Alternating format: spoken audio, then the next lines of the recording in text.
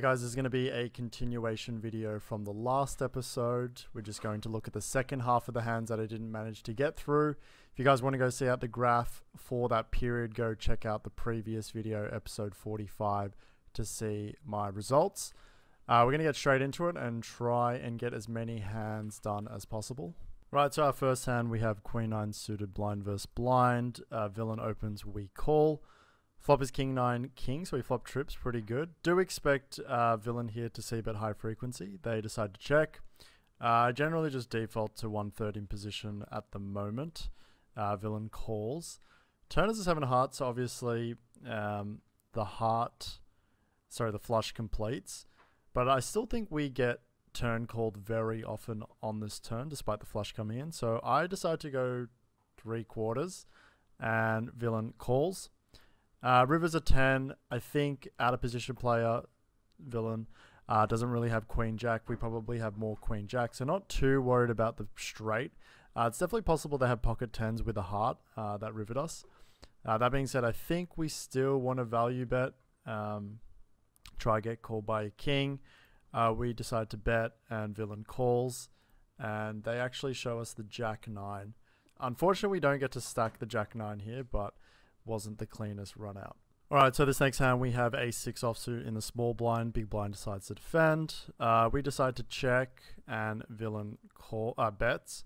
So 4-4 deuce not a great board. Um, we're not really opening too much of our offsuit 4x, but uh, villain is going to defend a large majority of their 5-4 offsuit. So generally like a 4-4 4-4 board, 5-5 board, 6-6, 7-7 are really bad for out of position because in position has way more offsuit combos of the trips than we do. Uh, I mean, some players probably open a little bit too wide in these spots, so uh, it does get a little bit skewed. But in theory, uh, out of position players shouldn't really connect too well on these low type boards. Uh, flop, I decide to call because we do have ace high and we have backdoor straight draw, and we do block some 4x combos with the 6. Uh, we do turn the 6 and we check villain decides to bet. Uh, I still think this is a spot that can be severely overbluffed. Uh, a lot of my range is going to be ace high, king high, stuff like that. So I, I, do think villain will turn barrel here quite often and give up a lot of rivers. I decide to call. Rivers at 10 completely changes nothing. Perhaps if they were bluffing with something like 10-5, 10-3 uh, suited, things like that. Now river repair, but overall the 10 is not really relevant to either player's range. Uh, villain does decide to bet. Uh, we have a pretty standard call in theory.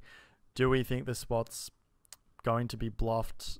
Probably not too often on this run out after a check call, check call, then um, this river specifically. I do think a lot of players will bet flop, bet turn, and give up along the river. I'm not thrilled about it, but I do end up calling, and villain does have trips. Okay, this hand is pretty standard. We have king, queen off. We three bet uh, villain calls.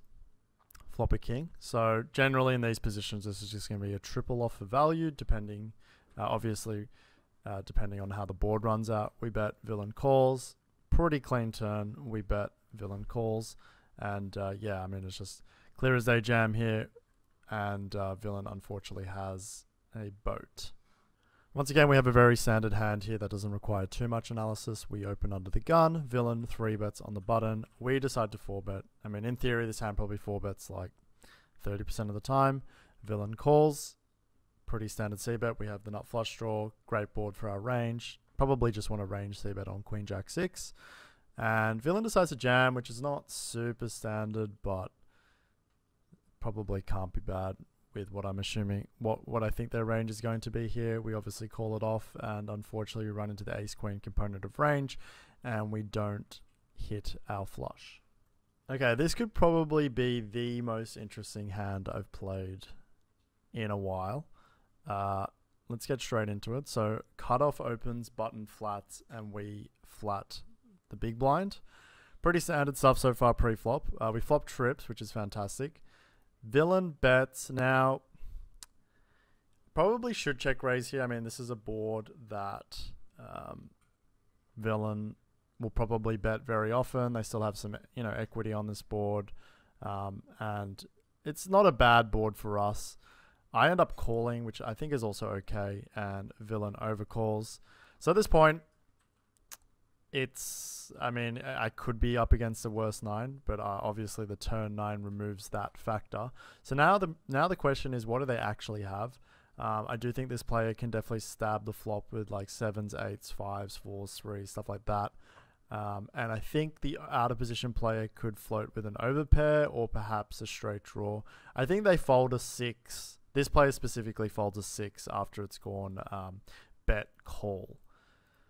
So now the question is, how do we get max value with quads? And this is, I mean, you don't really get put in these spots too often, particularly in a multi-way spot. So got to think uh, on your feet here in terms of how can we, uh, first of all, I guess the question is, what do they have and how can we get max value? So when villain bets here again, I'm starting to think it could be a fish who is probably overplaying some sort of pair, like full house or something like I don't know, sevens, eights, maybe even a six. Could be even fives, fours. I, am not too sure. Uh, so, but at the same time as well, we don't really want to raise this spot because then that's just clear that we have quads, in my opinion. I don't think anyone's ever going to check raise here without quads, particularly with a player that's uncapped behind us.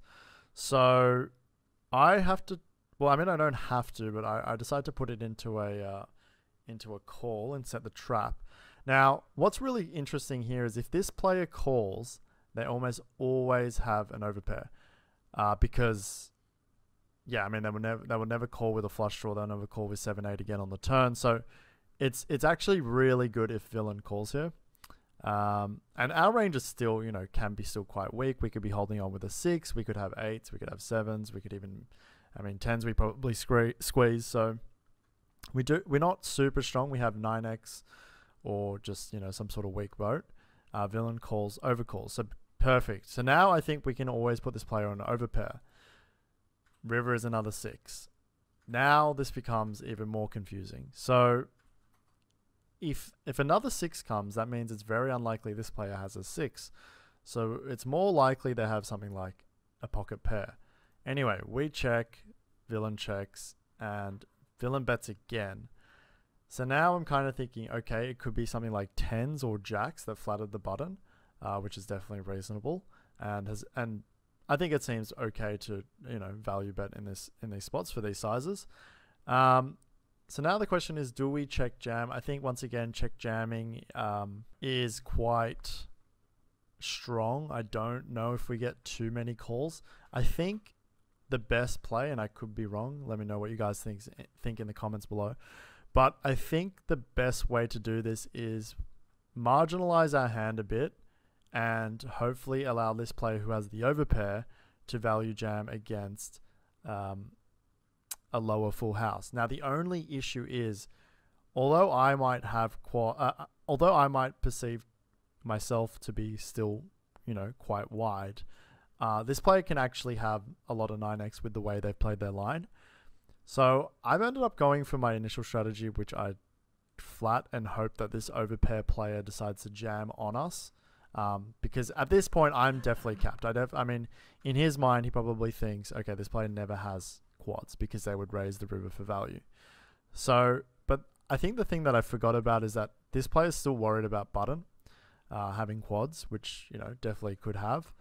So villain actually overflats, and my my I think my thought process was good. I think I just missed the final step, which was um, accounting for this player's range being uncapped. Otherwise, I think I played the hand fairly well. You can definitely make an argument that I um, I probably don't get called when I check raise the river anyway. So perhaps I did make an extra ninety dollars by you know flatting here.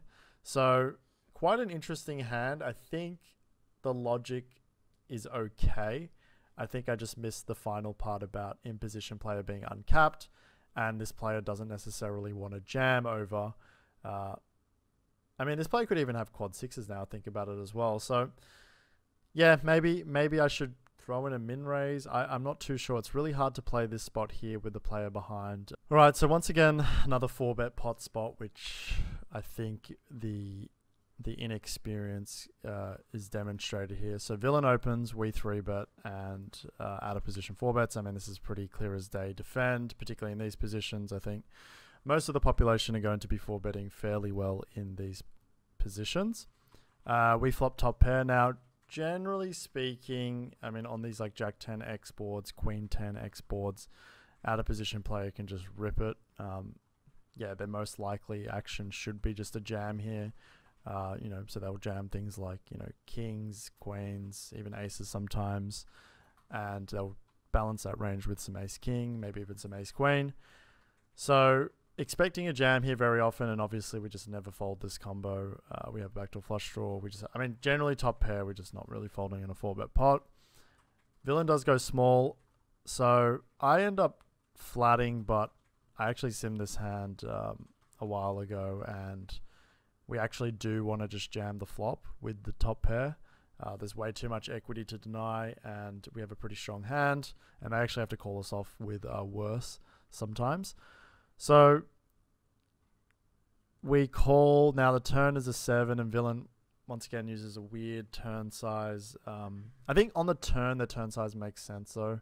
Um, don't know if they want to jam too often on the seven, and we obviously call. And then villain checks, which is really weird. I think on an ace.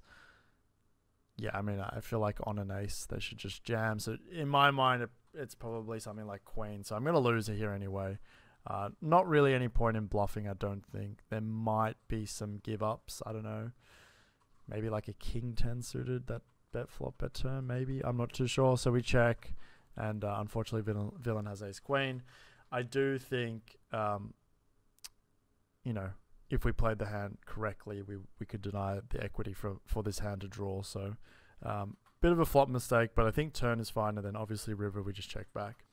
All right, so this next hand is actually fairly interesting. Cutoff opens, we defend. Now, from what I've seen, I think there's a few regs who are min raising and forgetting the fact that when they min raise, my BB defense range changes quite a bit. So the dynamic of a lot of boards uh, should be uh, should change a lot. So for example here, I mean this board already to a normal open is not a great board to C bet, um, ace-3 deuce. So when they min raise and we defend, I think it becomes even worse for the in position player. So I think this is probably just going to have to be a pure range check on this on this flop for the in position player. And what I've noticed is a lot of these players are c betting too wide after min raising. So I decide to attack their you know, their, I guess, C betting range um, by check raising. I mean, we should have all full five offsuit here. So, you know, this board is insanely good for us. We have deuces, threes, and we're going to defend all our ace three, ace deuce uh, against the min raise from the cutoff. So, yeah, I just think this should be a spot that should be checked almost always. Um, and given the fact that I think my range is so bolstered by strong holdings, uh, I do think we decide to check raise. That being said, there could be some level factor where this player might think that this player knows that this this board's really good for them, and as a result, they're only going to bet their strong holdings. That's definitely possible as well.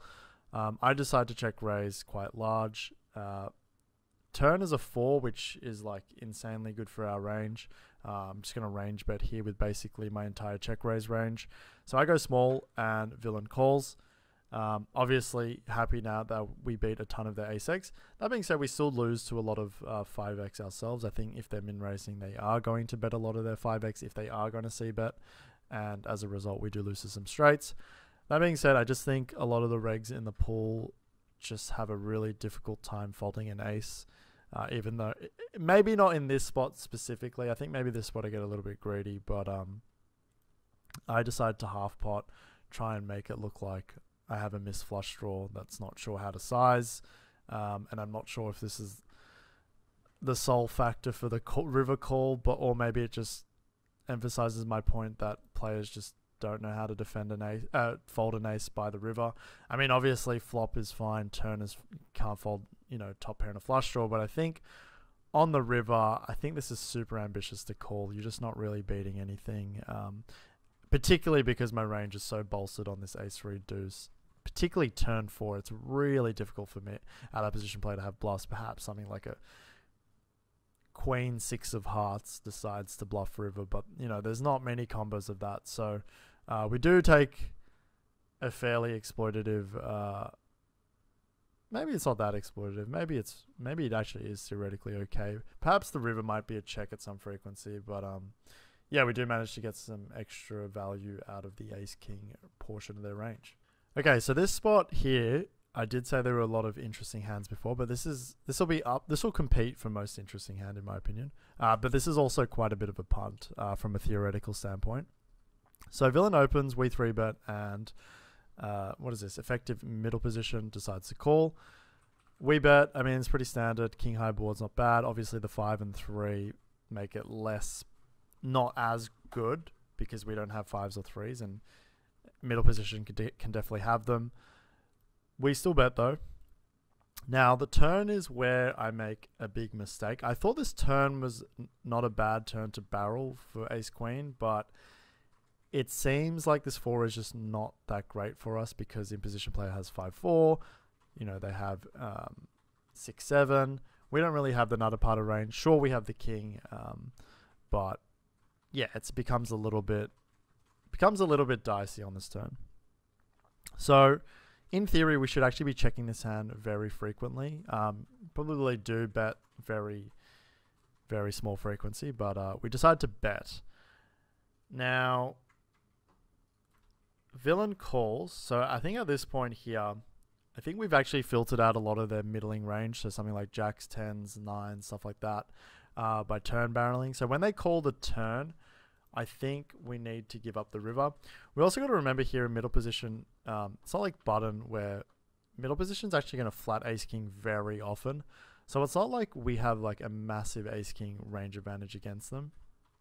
I'm sure we have kings, but there's an argument to say that you know even in, in, in position player is as strong on the four turn, given that they have fives, threes, and six, seven.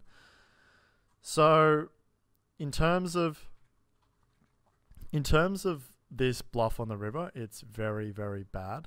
Now, I got called by something that's at the time I thought was really just unfair, to be completely honest. Then when I thought about the hand more off more, I actually think this is probably the most genius call I've seen uh, so far. And uh, I'll unveil the hand that villain calls us with is pocket sixes. Now, let's let's run this hand again. So on the flop, uh, open obviously is fine. Defender's fine. Now the flop is probably like it's not a pure defend on flop, but it's mainly defending. So you know that's that's obviously fine. They have a backdoor straight draw, yada yada yada. Now turn obviously we bet. Once again, uh, we've made the mistake here. We've punted. Um, his defend is GTO, not folding a straight draw and sixes, obviously. Now the river, obviously, in theory, um, would be a fold, but if I think the first thing is on this river, we're not really meant to jam too often. If we do value bet, we want to block. So I'm not, I mean, and we're actually meant to do a lot of checking. So if you think about my value range, I only really have ace king. I don't think anyone in the pool is going to play king queen like this. I think what will end up happening is it'll be bet flop, either check turn or small bet turn, small bet river. So there's not really any nutted parts of my range that wants to go bet flop, bet big on turn, and jam river. So as a result, from a value range perspective, I don't really have any value hands. So when I jam and I don't have very, you know, I don't have many value hands, perhaps aces, I think aces is the only hand that wants to take this line. There's only six combos of that. Um, villain, you know, only, I probably only need to have like three bluff combos here. And given that I'm betting ace queen, that's just never meant to be a, a bluff ever. Um, I'm severely over bluffing this spot, which makes the sixes call very, very plus EV. Um, so you guys are probably thinking, what do we actually want to bluff with here? Uh, so our primary bluffs as the out of position player are going to be ace five and ace four. Um, and I think ace jack. I can't really remember, but our primary bluff is going to be ace five and ace four. So Um, at the time, obviously upset that I got called by a hand that I thought should never call, but then after I simmed it and thought about the hand, I think this is actually a really, really good call. So um, props to this. I mean, it, it, the funny thing about all of this is it could just be a fish that wasn't even thinking about everything that I just spoke about for the last minute. But um, I think this is a really good call, and uh, I, get severely punished for uh, over bluffing this spot. So uh, definitely learnt um, quite a bit, and actually went and did a lot of small blind versus under the gun, small blind versus middle position three bet pots uh, to ensure that we don't light money on fire again here. All right, let's follow it up with a hand that I did play well. Um, I mean, this one is pretty easy to play. Uh, we open villain three bets. Um, villain goes for a smaller three bet, so that's generally my way of deciding to flat more. I mean, ace king isn't going to four bet all the time; it's probably half the time. So we're definitely, you know, in theory, want to flat, and I just use like small factors outside of an RNG. So villains use a smaller size, which you know, generally speaking, means you want to do more flatting. So I I decided to flat. Um, flop trips, fantastic. Villain bets, we call. Villain bets turn, we call, and then villain just ships. Um, and we obviously just call. And fortunately for us, villain does what we did last hand. Bluff a combo that should probably never bluff. I mean, having the ace of diamonds is not a bad turn bluff combo, but definitely needs to give up river, um, blocking all my backdoor flush draw folds. So uh, I guess we do get one back there. Okay, so this is another hand that I mean, it's not it's not too bad what I did on the turn, but it's not amazing. Uh, villain opens cutoff, we three bet from the small blind, and villain calls. Flop a set, which is fantastic. I decide to bet. I mean, generally just always betting here, and villain calls. Now I decide to check, which I keep applying the set rule to all my sets. I mean, in theory, um, we definitely do want to check the turn with some sets, but we always want to check the, the turn, sorry, the sets uh, that are higher up, not the bottom one. So something like kings is a pure check here, eights will be mixed, and then sevens we just always want to bet. Um, but at the same time, I don't think checking is too bad. Perhaps on a double flush draw board and the straight component coming in um, is not great to be checking because we're giving a lot of equity away. But anyway, I decided to check and villain bets, which is really fortunate for us because now we get to check jam. Because um, if they check back, this gets a little bit uh, unfortunate on a lot of rivers. Uh, so we do just jam and villain snapped us off and they actually had ace five of clubs. Alright, this hand was quite fortunate for us. Uh, villain opens we three bet big blind cold four bets, and in these positions we are going to defend ace five suited almost always. We defend, uh, we flop a flush draw, villain bets. Uh, I don't mind check raising here, uh, just because I do think we have quite a few over pairs that do want to check raise, so something like jacks and tens. I think queens we just get it in pre, so. Um, I decide to raise, and obviously we have so much equity with this hand. We have backdoor straight draw, to both ends, so like a six. It will give us a straight draw, a four, a deuce, um, an eight gives us a gut shot. So quite a few things, and we obviously have the ace. So if we're up against queens, jacks, you know, tens, yeah, I mean, there's just a lot of things going on. Um, and then the turn seven, I mean, there's not really any other way to play this. We just ship it um, and just pray they have, you know, something like ace king with the king of spades that just folds the turn, ace queen, you know, things like that. Jack ten perhaps. Um, so we jam, and villain actually tanked for ages and called us off with the king high, king jack of clubs. Um, their flop float is fine. Whether that's good in reality, I'm not too sure. I guess blocking the jack is okay. Um, but yeah, I mean, in theory, this is a spot that I do think is under defended by the pool. So it's interesting to see that a player actually defends correctly. That being said, in reality, these hands are zero EV uh, defends. They're just trying to you're just trying to you're just defending these hands so that you don't get exploited by a, a the opposition who might just raise a ton of hands. Um, I, I'm not sure about the turn call off. I mean, it's probably close. I mean, what's their price? 27%. I think they should just fold unless they think I have worse very often. I mean, this is the problem. Like, if I just jam my ace high flush draws, they're just losing against that. So uh, interesting turn spot. I think it should just be a turn fold, but um, fortunately for us, we we jam, get called by worse, and manage to hold. Okay, so another four bet pot spot here. We have tens. We open villain three bets. Um, I mean, generally speaking, just flooding here. I'm being inconsistent here because I did say earlier um, when it is a smaller three bet size, this is not the full 4x. I generally just decide to flat. I think perhaps maybe um, the pool was very, very aggro. I generally do change my four bet frequency based on how aggressive the pool is. So maybe that was going through my mind. I'm not too sure. Uh, we do four bet. Villain does flat. Uh, it's actually a really good board for the out of position player. You know, they can definitely lead this board, not with their entire range, but you know, at some frequency. So I am actually expecting to get led into here quite often. Uh, fortunately, villain checks. Once again, I did say this board's not great, but um, we do have a hand that wants to C bet and protect uh, its equity against their range. So, you know, we can start checking back things that are higher up. So perhaps something like kings, queens, aces, stuff like that. Whereas jacks and tens, we just kind of want to bet and just pray that we um, we get it in good and hope that no overcards come. So we do bet. Villain jams, I mean, obviously not folding. Um, and fortunately, but unfortunately, villain has pocket eights. So basically flipping on the flop, and unfortunately, the um, the out of position player rivers a set, and we lose that one. Alright, this hand we're playing three-handed. Uh, button opens with three bet and villain calls. Uh, not a great board, obviously for the ace three clubs, but uh, it does have decent removal to the flop defend and sorry, it unblocks their flop defends that generally fold the turn. Nevertheless, we just bet one third. We get called. Turn's interesting. We turn an ace. I do think we want to protect some of our ace x um, here. Uh, we don't want to always bet, so I think this candidate's pretty good. We still lose to, it's not our best ace x, and we still lose to some things like ace queen, ace jack, ace 10, um, stuff like that. So we check, villain checks back. I think at this point when they check back, they almost always have some showdownable hand. Uh, so something like, you know, a pair of nines, um, you know, pocket tens, jacks, sevens, sixes, stuff like that.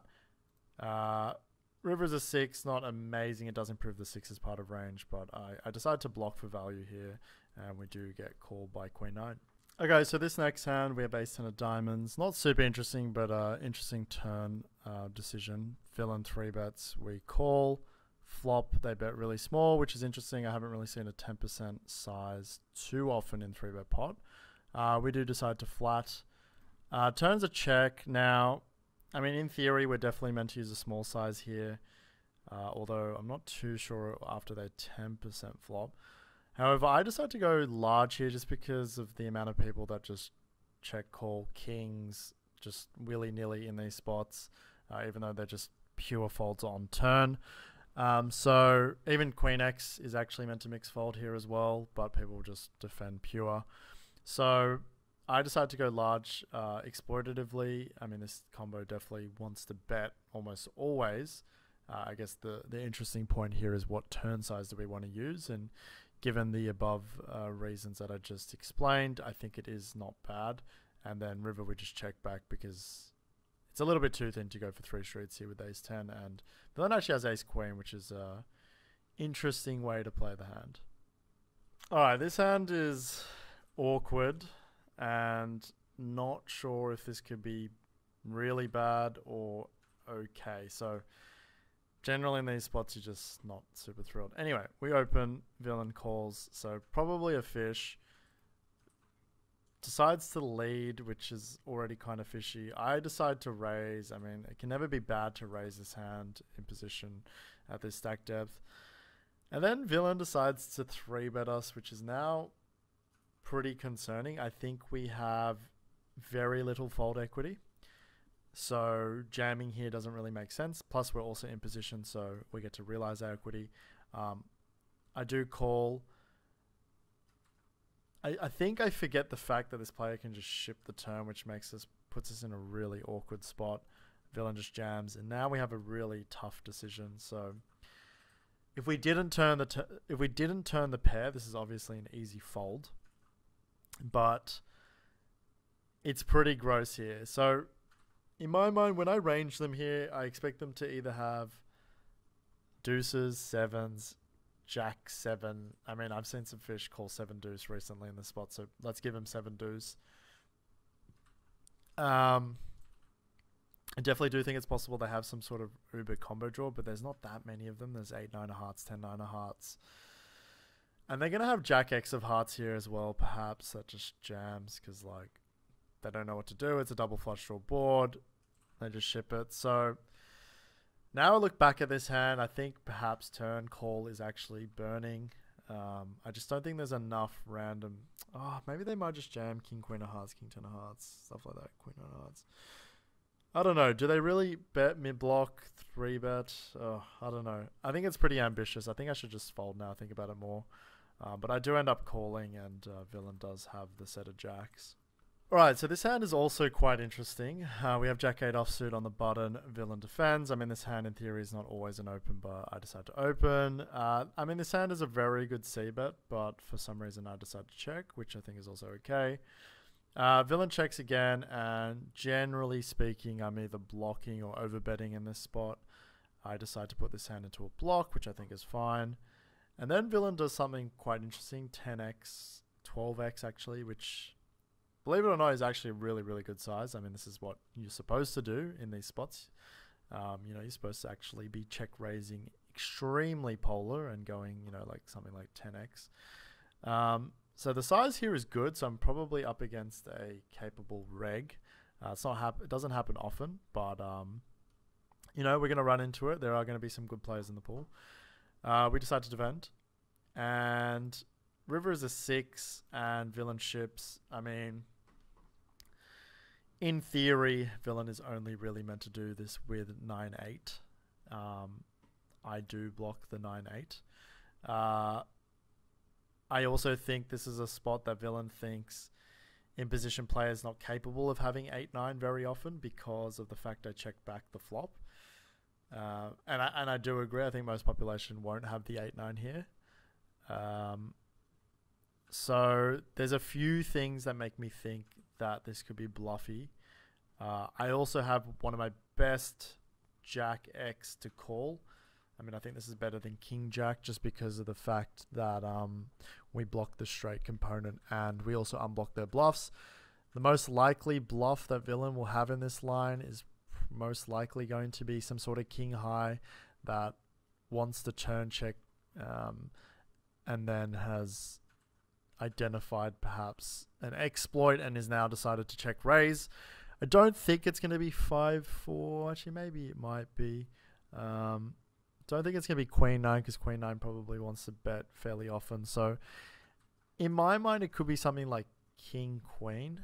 King 9, although King Queen can probably bet the turn themselves as well. So I don't know. I mean, there's some weird things that can go on here. Maybe they just punt this spot off with anything. I don't think they have. Don't know if they have too many strong holdings. I think a lot of their sets will just bet themselves on the turn. I could be wrong. Anyway, I decided to hero this spot off just because it just I don't know. I just think it's full of shit. I decide to call. I have my best top pair. I make the hero call. Unfortunately for me, I actually um, run into the bluff. What do I think of their bluff? I think, I think the turn check raise is pretty cool. I, li- I like the turn check raise. Um, but I think River Jam is very spewy. I think having the King of Hearts. I just think, yeah, the, I think the worst part of this hand is the King of Hearts. Like, obviously, the nine's great um, blocking my 9-8, that check back flop. But, I mean, a lot of my my turn call, calls are going to be draw heavy. So things like King X of Hearts and King Queen. So to block that part of the range, I think is is really bad. So um, jamming the river here with this combo seems pretty spewy. I do really like their turn check raise. I mean, I like I like their strat here. I think it's good. I mean, this is definitely a high level play uh, which you don't see a lot of people make. Uh, I just think they need to think about this river spot a little bit more in terms of their combo choice. I think King of Hearts is just an awful, awful card to hold uh, when jamming this spot. And uh, fortunately for us, we do run into the to the bluff portion of range. All right, so to finish off this hand review, we'll do this last hand. I mean, this is not analytically too impressive. We open small blind calls, big blind calls. Flop a set. I think I identified both of these players to be fish, given it was three-handed. I'm not too sure. But I decided to go large just because I think they're pretty inelastic here and they're going to call a ton of their range and make mistakes against the larger size versus the small size.